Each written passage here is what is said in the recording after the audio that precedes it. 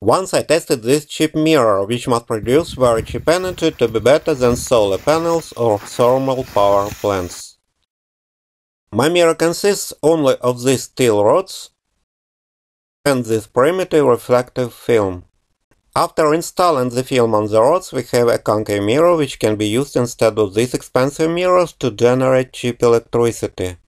Of course, one square meter of this beautiful mirror produces several times more energy than one square meter of this mirror, but it is several dozen times cheaper. Its reflective film costs 25 cents per square meter, and I spent less than $3 buying these steel rods.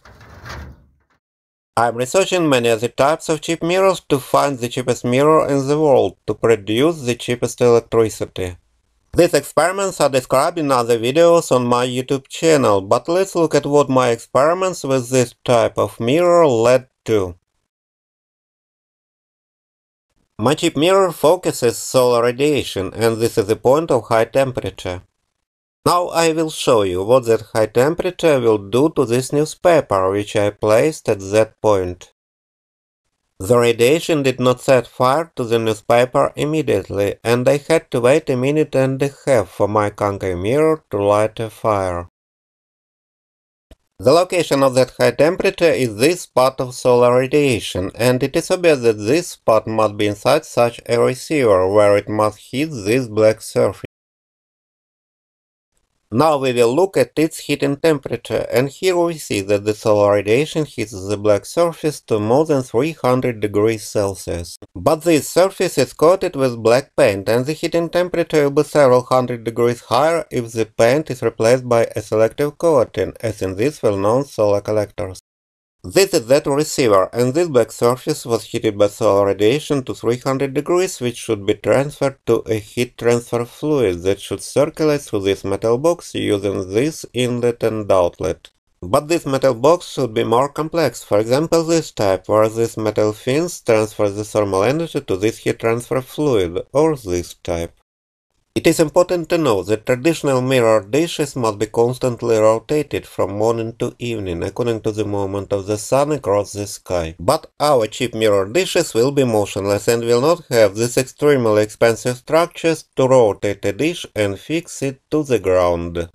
These expensive structures will be replaced by cheap devices for moving our small receivers from morning to evening in this way or in this way.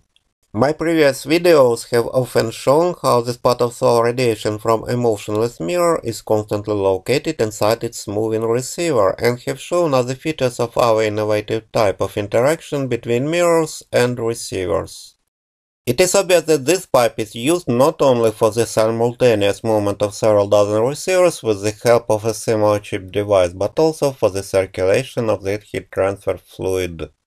Therefore, our mirrors must form long rows, like these rows of solar power plants of this type, the number of which already exceed hundred in different countries, and their total cost is approximately $40 billion. Their cylindrical mirrors focus solar radiation onto these long receivers filled with thermal oil, which is heated by solar radiation to almost 400 degrees Celsius.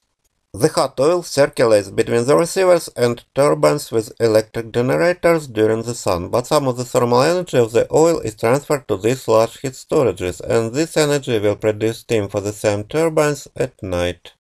Unfortunately, these mirror systems are very expensive, and our mirrors are several dozen times cheaper. Our big power plant must have large numbers of the cheap mirrors, and it is obvious that such pipes must be a path for the circulation of the thermal oil, which will be heated in the receivers to 300 degrees.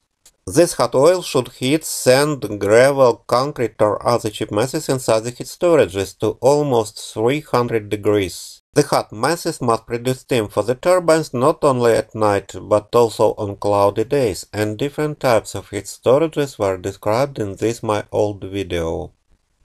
My goals are described by this formula, which leads to this cost of our solar heat, half a cent per kilowatt hour.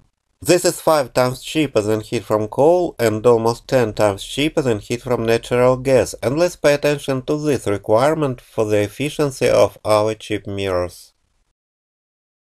It turns out that each square meter of the traditional rotating mirror dish produces about three times more thermal energy than one square meter of our cheap mirror, but I remind you that it is several dozen times cheaper. The main reason for the differences in heat production is the fact that the rotation of the dish allows it to give us energy almost all day long from morning to evening, while our motionless mirror works during 4 or 6 hours around midday.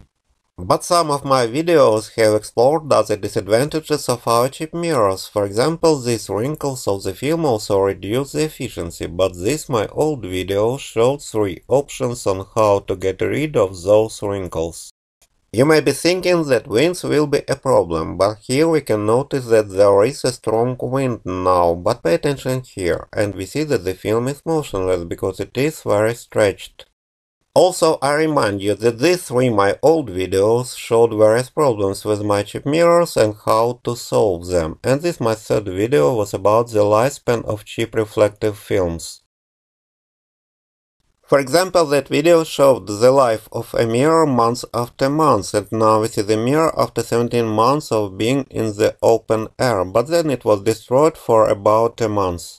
But it was the cheapest film made from a single layer of mylar 20 microns thick, and we can find a more durable film, and for example, we know about similar reflective films made of several polymer layers with a lifespan of more than 20 years.